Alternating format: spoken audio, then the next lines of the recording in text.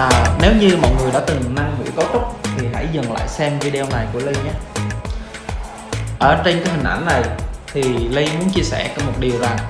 cái phần mũi của khách hàng nó vừa bị trụ mũi này bị nghiêng và còn trụ mũi bị dày kết hợp với phần bắt cân xứng của lỗ mũi hai bên,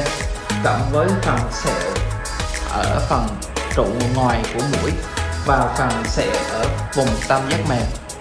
thì à, cái vấn đề ở đây là khách hàng thường hay hỏi là cái này là do à, bác sĩ làm cho em hay là do cơ địa của em? Thì ly muốn chia sẻ rằng à, trả lời luôn là là cái này là phần do của tay nghề bác sĩ làm. Thứ nhất là cái phần trụ mũi bị nghiêng là có thể do vách ngăn của bẩm sinh của mỗi khách hàng nó bị sẵn và khi làm thẩm mỹ thì tất nhiên các bác sĩ sẽ làm dựng trụ và gia cố lại vách ngăn cho khách hàng để làm một cái chút mũi và cái trụ mũi nó thẳng hơn.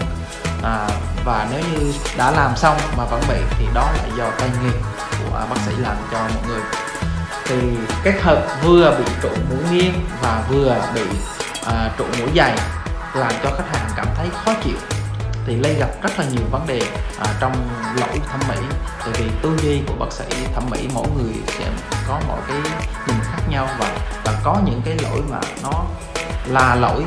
về xấu và không được đẹp thì các bác sĩ lại không thừa nhận. Đó là do mình làm xấu mà các bác sĩ lại hay đổ lỗi là do cơ địa của khách hàng đó.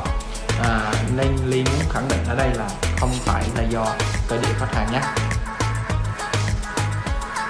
Vì khi mà dựng trụ thì các bác sĩ sẽ từ một cái khuôn mũi của khách hàng đây thì chúng ta sẽ đặt một cái trụ.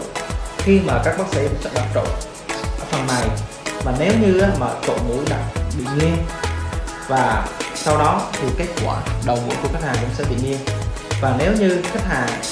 à, đi nâng mũi gặp trường hợp vừa đặt trụ mũi à, bị nghiêng và vừa gặp bị trường hợp là còn bị dày có nghĩa là cái phần trụ mũi này nó dày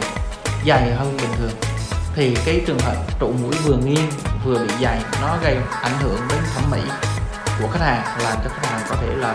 tốn kém tiền bạc mà sửa lại và về tinh thần có những khách hàng bị stress. À, để sửa chữa cái mũi này thì các bác sĩ sẽ gia cố phần vách ngăn lại và làm mỏng mềm mũi lại của quần phần trụ mũi lại thì sẽ khắc phục được. Mọi người yên tâm nhé. À, nếu như ai đã từng nâng mũi bị à, cấu trúc mà bị lỗi thì hãy comment tại bài viết này và đặt thêm nhiều câu hỏi cho Ly Ly sẽ làm nhiều video hơn chia sẻ cho mọi người nhé.